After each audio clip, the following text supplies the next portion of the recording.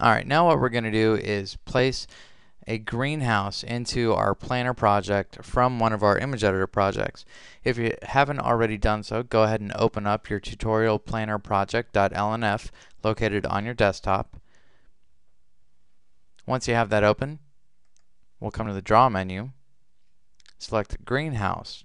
Now here we can either place a greenhouse from an image editor project or we can delete any that are currently in there. If we go ahead and select delete, it's going to show all of the image editor projects that you've currently completed. Just highlight the project that you wish to delete out of your greenhouse and select OK. Come back to your draw menu. Let's go to greenhouse and now we want to place the greenhouse for the tutorial project that we completed already from our image editor. Go and select the tutorial project and click OK.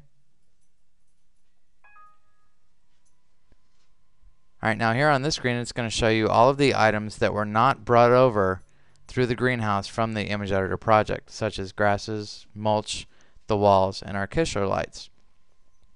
Now these are items that are going to have to be placed manually into our planner drawing.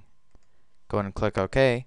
You'll see in the upper right hand corner what it's going to do is place all of the plant material from your image editor project relational to how it was placed in the photo.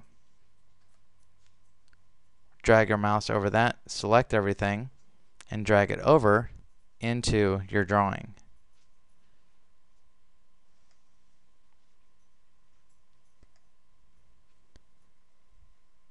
Now let's go ahead and zoom in on that area there.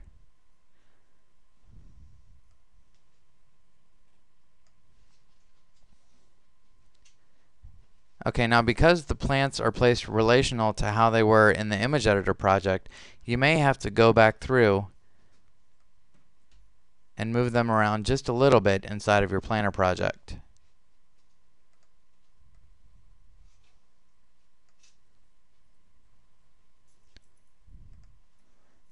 Now all the symbols that are going to be placed into your project are going to be scaled to the full growth of the planter object.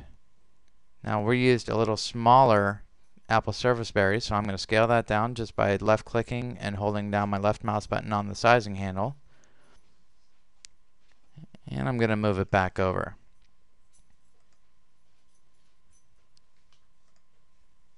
And now all of the plants that we had inside of our image editor project are now placed into our planner project simply by using our greenhouse feature.